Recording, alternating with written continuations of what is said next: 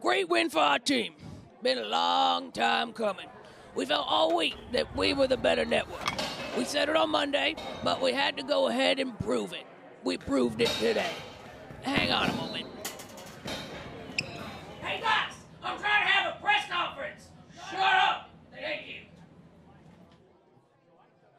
There's some things we did very well today. There's some things we can obviously get better at. We'll give some credit. We're up against some great networks, but very proud of our production team. Our control room put in a lot of hard work to get to where we are today. Uh, hang on a moment. Hey guys, I'm serious. Put away the beers. Who brought a pinata? I thought I said no pinatas. Mommy, is that you? All right, knock it off. Thank you. Mike Lockyer pulled 550 images for the C block. Fantastic night. Danielle Gons covered three miles running between stores to get props for this bit. When's the last time that happened? And what can you say about Mike Angie? What a good boy. We're gonna protect the team tonight, get rested tomorrow. Got a lot of guys banged up. It was a physical fight out there. Go, Fubo! Excuse me.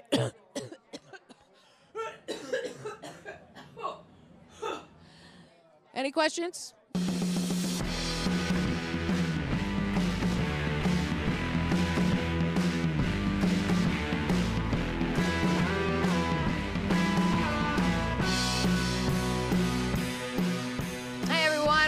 In to Call It a Night, the sports comedy show where we never call it a night against better judgment. I'm your host, Julie Stewart Binks, and today we're so jazzed to be joined by NFL Network broadcaster, my friend Cole Wright, who's coming in hot from LA. You you brought a coat to New York. I- I because It's did. pretty cool. But I we were just saying though that you've experienced minus 72 Fahrenheit. Fahrenheit. What is that in Celsius? We're, Conversion, uh, conversion. jury's quick, quick, out. quick. We're, uh, I think it goes the same below zero, and no one will know Uh-huh. because no one would Freezing, care. freezing yeah. cold. Mhm, Yeah. All right, we're gonna heat things up here right. on the show. We're gonna be chatting all things Cole, NFL, his career, um, and finding out some of Cole's favorite things in the world. But first, let's dive into tonight's headlines, shall we?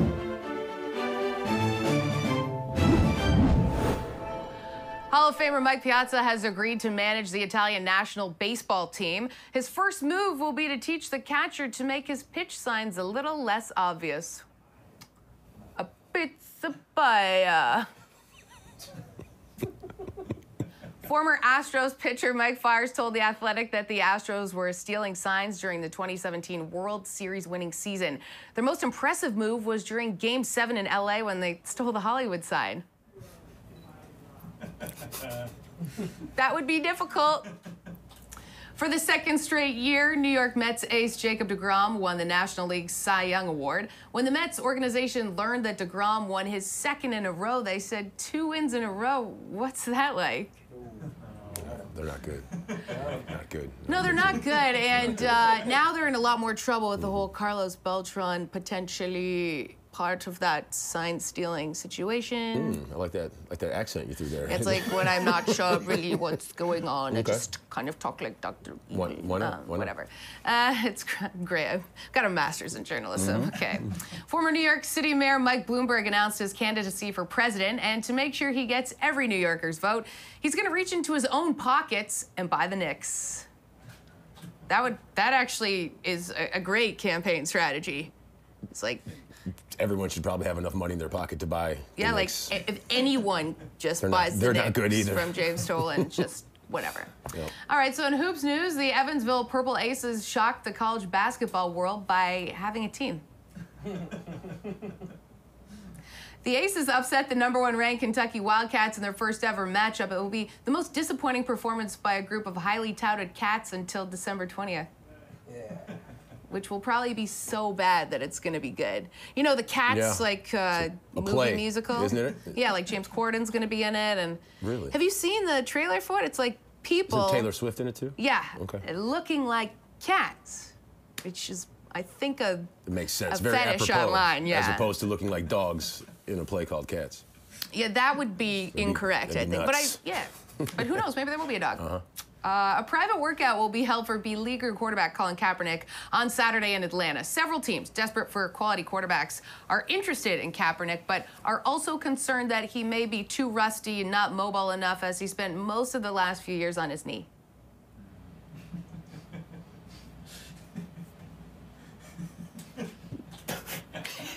I can see when I start telling an NFL joke, like as an NFL network host, you're just like, I'm just gonna sit back here. Like, like, like, like Tron said on Chappelle's show, one, two, three, four, fifth.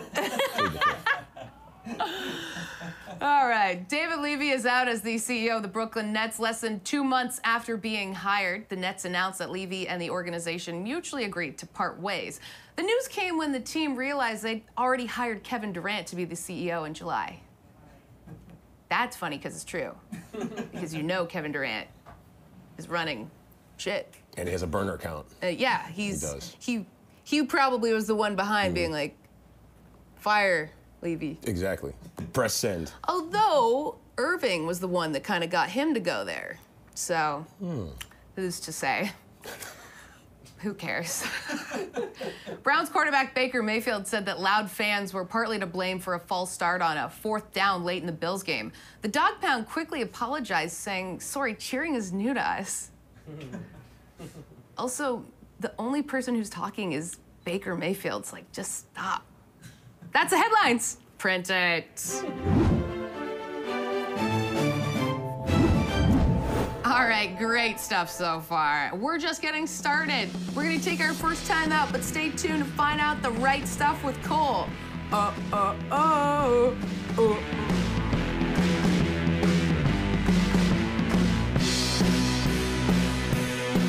Hi, I'm Amani Toomer, and it's late. I'm gonna call it a night.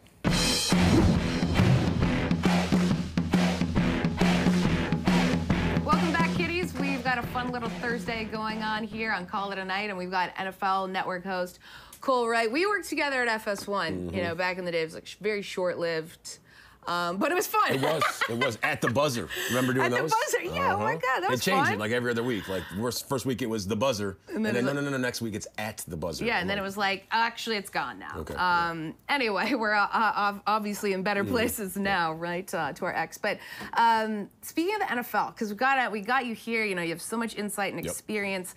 We are just discussing one of the biggest stories this week, of course, is Colin Kaepernick Sure. holding the workout for NFL teams. There's been some interest. Mm-hmm. How do you think this all plays out? I mean, he said that he's stayed ready. Like I, I saw Michael Silver, he issued you know a long series of tweets. I mean, 10, 11, 12 tweets if I'm not mistaken. But he said that you know Colin Kaepernick, he gets up every single morning, five days a week. He works out in the dark with his trainer. He stayed ready, and you know what they say: you, you don't have to get ready when you stay ready. And I think that's that's something that that he's done. And you know whether or not that, that, that teams are really out there to look at him for what he can bring to the table as a quarterback or not, I- I think he can still play this game. I mean, he's he's not old. I mean, if you mm-hmm. stay you stay fresh. I mean, I, I feel like I'm halfway fresh. I'm about 500 years older than that guy, and I'm clearly not fresh. So I think he will go out there. I, I think he's going to you know put his best foot forward, and we'll, we'll see. I mean, it's, I think it's for for next year. It's not really Right, for, right. for this season. That's that's been the word on the street that it's let's let's see what he has to offer for a season ahead. So, but I'm, I think there still could be some teams out here that could that could use what he has to bring. Right, because even at this point in the season and what we've seen this season, so many big name Mm-hmm. quarterbacks going out, uh, younger quarterbacks coming in, not really being able to handle the pressure or the load. The timing is ideal for him to show that he can still do it. Absolutely. Yeah. And I mean, it, like when, when we see other guys going there week after week, whether it's it's young guys or, or journeymen who just can't cross T's and dot I's, will he be that guy? I mean, we, we know there's, especially the way you, when you look at offenses, you, you take a look at Arizona's offense, the way it's run with Kyler Murray, and just other offenses, uh, Baltimore with Lamar Jackson. These guys can run, but they can also throw the ball, and that's what that's what Kaepernick. We know he didn't have a lot of finesse on that fastball, but he can run and he can throw. He can get the ball downfield. So I think the the quarterback position is always evolving, and I think more of our quarterbacks in the National Football League are evolving to look and have skill sets like a guy like Colin Kaepernick. So we'll see. Yeah, we'll have to see if these uh, owners and general managers are also evolving in their viewpoints in uh, It'd having nice. a quarterback like Colin Kaepernick. be nice. Now, looking at the the remainder of the season, we've had an exciting season so Mm-hmm. far, many different ways. What do you, what storyline kind of excites you that you might think come to fruition? I like the Lamar Jackson storyline. I mean, what's going on in Baltimore? I mean, they are a force. I mean, the fact that they, you know, upended uh, New England and nobody thought New England was going to lose anytime soon, especially to that ball club. I mean, It's, it's it's funny every time you sit there and watch Lamar Jackson do more and more things Yeah. each and every single week. You know his plate just gets bigger, and you, you see the game slowing down. I mean, the, you know he, what he run 59 yards the other day to, for a 48 yard touchdown. I mean, he, he does so many things and he makes so much look easy. And I would just I'd love to see Baltimore get to the Super Bowl. I mean, who, Yeah. who knows if he could get there, especially if they're saying, "Hey, you know what, Lamar, why, why don't you play wide receiver?" He's like, "I'm a quarterback, and that's what I do," and he's done it at a high level. Yeah, this and year. it's just such a quick amount of time since He's he like was Patrick with Mahomes light. Yeah. Because I just, I just love Patrick Mahomes. That MVP. He's, uh, He, he is very exciting to is, watch too, and we'll have to see if the Ravens can. Maybe they'll be up against the he's Patriots my quarterback again. on all four of my fantasy teams. To Okay. a fault. I don't know if that's always a good That's thing. too bad then, because wait, Mahomes, you- mean? Yeah, Patrick Mahomes. Oh, Mahomes. yeah, Patrick well. Mahomes. I had to, I had to sit out He's for a back, little bit, he's but back. I, I went mean, they lost, Derek but- Carr, though. So Uh, he'll be all yes. right. Okay. But we, I asked you. Okay, so we're in New York, of course, Mm-hmm. and not as great in our town right now. The toilet boil of the boil of the Jets and Giants was Oh. uh, not great. We were just talking about Sam Darnold. Mm-hmm. It- you know, you've got a lot of personality, insight. Uh, What analogy would you use to describe the Jets and Giants? Well, if it's the Jets, I'm thinking like you know Christmas time right around the corner. It's almost like uh, you know you're a kid. Me- Remember when you wanted like that pair of shoes, like you wanted those Doc Martens, or since Oh, you're yeah. in New York, you wanted those Timberlands. Yeah. Oh, you see a box underneath the tree or whatever it is. You see, oh, oh, that's a box. That could be some Tims or maybe some Docs, and you open it up and it's like a pair of Wolverine boots or, or Colorados. Like that's not what I wanted. My mom, dad, like these are not as cool as Doc Martens or Timberlands, and that's kind of what the Jets are right now. Like, oh, Sam Darnold, like we're gonna bring him in. Look at him from USC. He's got the cool hair and turns the ball over a lot, and that's exactly what you thought you were getting some Tims, but you got some Colorados and you got the off-brand. And that's what the Jets are right now. And the, the Giants not a whole bunch better. I mean, What do you got not, for the Giants? not a whole bunch better. Basically, the same analogy. No. I mean, it's almost like uh, it's it's almost like Scooby Doo. I mean, you a Scooby Doo fan? Yeah, of course. It's like you- you're sitting there, you look at Daniel Jones, and it's like, oh, like that's that's our quarterback. But then you t- take the mask off, and it's like pretty much Eli from this season. Oh, like Oh, yeah. he would have got away with it Yeah. if it wasn't for you meddling kids. and he know, wouldn't even have to take the mask off because he looks like Eli. And they said, what did they say? He looks like one of the best tweets I saw when they drafted Daniel Jones was Daniel Jones looks like the guy who plays Eli Manning in a movie about Peyton Manning. yeah. That hurts. That hurts. That's, sorry. that's sorry, pretty Daniel Jones. on point. Yeah. Um, when we look at your career, you're at NFL Network. Yeah. You got there and you instantly were like thrown into hosting a morning Mm-hmm. show on the West Coast to boot. What's what was that like? I mean, it wasn't that bad. Everyone's like, "Oh, your your schedule's the worst." I'm like, "Is it?" Okay, keep thinking it's the worst because I mean, we got there like 2:30 in the morning. Oh my we'd, God. We'd go through a rundown in like about a half an hour, and then we'd have a meeting at three o'clock from three to 3:30, 3:45. Then you go get makeup, and then on the air at five o'clock, and then we'd be out of there at 7:15. And I was, you know, either at the gym or in the bed by 7:30, 7:40. So everyone's like, "That's the worst schedule." I'm like. "One, two, three, four, five." I work five hours a day. I'm like, Yeah. keep t- yeah, that was a It's terrible a- schedule. Yeah, it's just an odd Yeah, thing exactly. going up. Now you've also, speaking of weird schedules, you also did overnights with ESPN. I- I. Um, and that's where a lot of people grinded it out. We've had Adnan Virk on the show, Yep. Jorge Andres, and what Max Bretos. What would you? uh, We used to hold it down on the Highlight Express, all of us. How? Yeah. How Yeah. difficult? Like, what's the process like to moving ahead at ESPN? Like, it seems like it's a very difficult. Well, if, if I knew, I, I would have Yeah. maybe moved ahead at ESPN, but I, You're in a I, I did not. Yeah, yeah. exactly. But, But, like, uh, what's I the know, process it's- like there? Like- and there's so many cooks in the kitchen. That's the one thing. That It's it's it's the, there's there's a lot of places, a lot of there's a lot of different offices, and it seems like this person works on that show, but that person also works on that Mm-hmm. show, and it, like isn't there's seven days of that show, but there's eight different CPs, and it's just it's just tough. Like you know, I, I lived far away. You know, I, I just had a, I had a little one at that point, so Mm-hmm. I mean, maybe it's I had um, you know I was obviously always with the family and. Maybe I should have been in offices more. No, no. Who knows? Value that but it's probably better because now I live in California and You not live on in the Bristol. beach, baby. Yeah, sorry, Yeah, sorry, you're Bristol, in Connecticut. Bristol yeah. shoveling the Right? snow all winter. Exactly, You're, exactly. you're biking around Redondo. But you've also, um, you know, you've worked everywhere. We mentioned FS1, ESPN, NESN, CBS, NFL Network. Yeah. A lot of, lot of letters. What's been your favorite show to work on through all that kind of stuff? Like, what really gets you going? Well, I like I like post games. Like anytime post game, and I you know for a few years we did at NFL Network. I did the uh, the Monday night post game show, and it was myself and Reggie Wayne and Mike Robinson, James Jones, Maurice Jones-Drew, and every, I mean every week it was just it was fun. And I, this year, just since I'm doing fantasy, I'm not you know, I'm not able to do that because I mean, I'm there in the daytime, and it'd be a long day all the way Yeah. around. So I mean, being there all day on Sunday.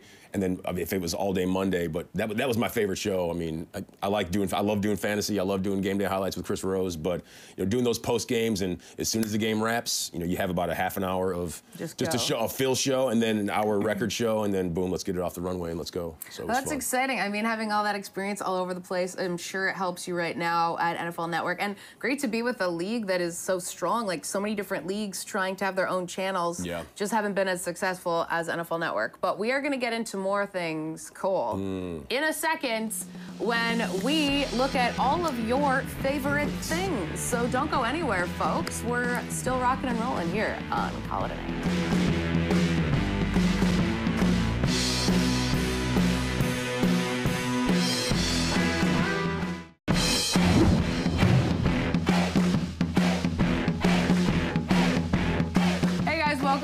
Back to Call It a Night. We're just I how discussing how I it, don't how to- is uh, difficult how to sit on this furniture here. I don't know what to do with my hands. Yeah, that's exactly. Trey Wingo Yeah, said that when yeah. he was here. He's like, "Do I put Yeah. my arm out? there, Do. I wear whatever?" Hold the tree. Hold the tree. yeah, well, it's it's not real, so you can do whatever the hell you want with it. But um, speaking of which, we want to know in our fun game because you you've you've lived a life, you've been all Hmm. over the place, you've covered many things. Very interesting person. Thank you. We want to know your absolute favorite things in the world, Mm-hmm. and this is our segment: top three all time.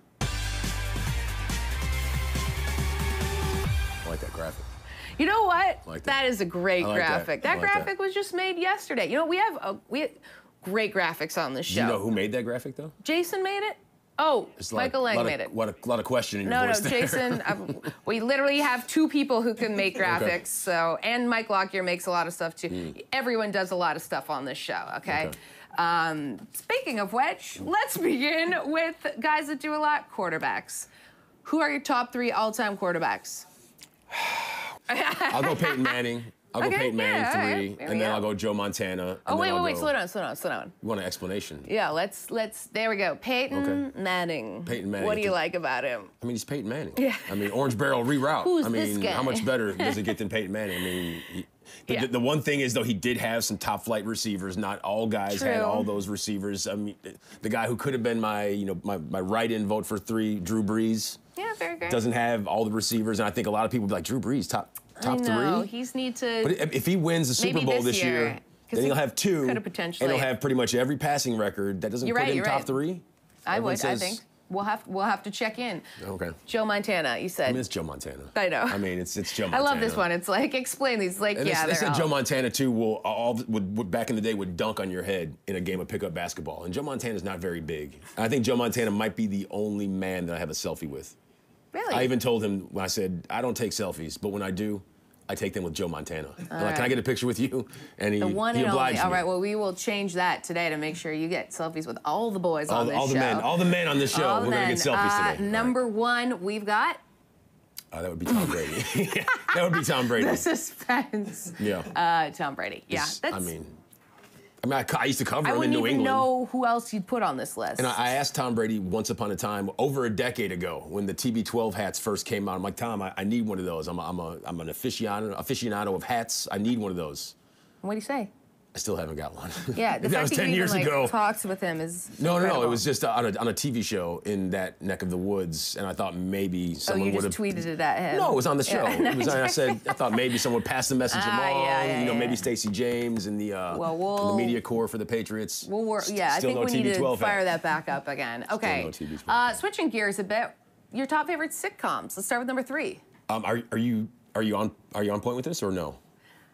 Let's see. Okay, Sanford and Son. I don't think they showed a lot of Sanford and Son in Regina. Yeah, it's. No? I think it's just getting going there. Just getting. Yeah. it's a li- little behind the eight ball. I don't know. I think uh, Julio and Rollo may have uh, seen better days. But uh, how, how about how about number two? It's, yeah, let's it's always number sunny in two. Philadelphia. Yes, yeah. This right. is one I can get behind. Are you? Are you? Is, is that a sitcom or is that? Is that? Is that what That's that's? a sitcom, I would definitely. think so. I'm telling these guys, people call me D a lot. I get referred to as D because it's like, Did you see the most recent D Day? no, what happened? It was hilarious. Like D made everybody cater to her that day. She made Frank, with Frank Reynolds dress up as Martina Martinez. Just go watch Sounds it. about just right. go. People Just go say watch it. I'm think I'm funny, but I'm not. So, uh, moving on. Let's go to number Mar- Martin. one. Martin number Ah, one okay. with a bullet. With a bullet. No, no doubt about it. I mean, it, it's it was the TV version of Coming to America, where Martin played a you know, whole assortment of characters and let everybody know his wide range from Dragonfly Jones to Otis the security guard. I love it. And I, how could we forget Shanae? you know what? I I got. I- I feel like- can't I feel like you have not I- watched a whole I bunch of Martin. Wikipedia this. I feel really bad. Like It's on every single night on like 15 different channels at 2 in the morning. Go watch it. one half of Bad Boys. I do know that because my producer told me that. But uh, But I mean, I was Boys- more of like a Seinfeld kind of girl, or like I grew up with like this isn't a sitcom, but like Degrassi Junior High, or I grew up with the original Degrassi with the, the girl with the, the hair yeah, yeah, snake Spike, or snake. Spike. Yeah, No, but there was a guy that played the bass with that Yeah. little dude who wore like the little fedora. oh no, the real one, not the Drake one. Not the Drake one, no. No, no, no, no, no. Because no. Drake was a, he was a regular able-bodied kid, and then he got shot at a party, and then he was turned into wheelchair Jimmy. Correct? Is that what that was called? Yeah, that's Okay, pretty much what happened. That's what it was. Um, So yeah. I didn't know that. I just saw an evolution of Drake in a tweet the other day, and I realized I saw him on Degrassi up and walking. Yeah. I didn't watch that. I know, and he's from an affluent neighborhood in Toronto, and so these are sort of dad was knocks a soul against singer. Yeah. He wears a lot of turtlenecks. Still my fave, though. I mean, from Toronto, and there is a bit of a relation to Toronto in this next category. Chicago athletes. Who's number three? I have to go with the Big Hurt. Yeah, our former, baby. co- our former co-worker at Fox Sports. Yeah, I know, One, our former Frank Thomas. coworker. Yeah. Um, Also, yes, played for the Blue Jays. That's why I said that. But okay, I didn't was think that, that would be the common thread there. When you think Frank Thomas, you think I do. not the Blue Jays. What did but you do think yes. Was, was that how long was he on the Blue Jays? Uh, it, w- it maybe Three two days. seasons, but one. Uh, okay, let's get back. Number two. Sweetness. Ah, Walter yeah, Payton. yes. I thought I was Walter Payton as a child growing up. You did? How come? Uh, because he was fantastic, and I wanted to be just You like Walter Payton, yeah. and I realized very quickly that I was not Walter Payton. Well, you're My- blessed with many great athletes. My Jheri curl was not as good as Walter Payton's. I didn't have a Jheri curl, but I yeah. if I had one, it wouldn't wouldn't have guess been as you good would as have Walter had Payton's. one. But uh, But number one, uh, no surprise here. Calvin Schiraldi. no, no, no. It's, I'm gonna go with Michael Jordan, Michael Jeffrey Yeah. Jordan. I mean, you got all these kids. I mean, what, what movie is it uh, where there's the, the, the gym teachers arguing? Bad Teacher with Cameron Oh, yeah, Diaz okay. and. Jason Segel's the gym teacher, and the kid's are arguing with him. He's like, "Oh, like the, LeBron's the best." He's like, well, "Where's your argument there?" It's there is no argument. Michael Jordan is the best.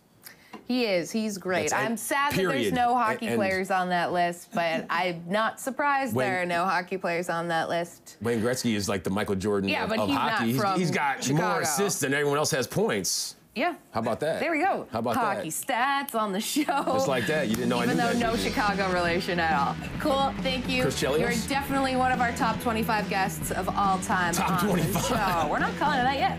See ya. Bye-bye.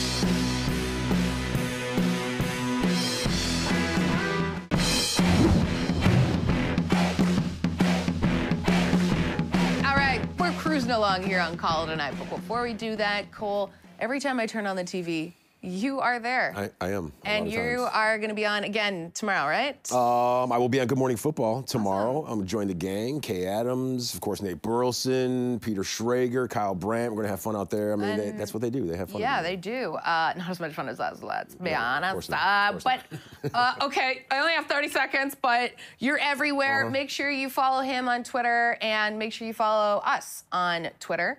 We are also going to be joined by Darren Rovell on Tuesday, as well as comedian Tom Green. He's going to get weird with us. I'm kind of scared about Tom that. Green show. Uh, yeah, hopefully not. But make sure to check out our Twitter page over the weekend at Fubo Sports because we want to put your tweets live on the show. But for now, we're going to call it a night, and wherever you call your night, make it a good one.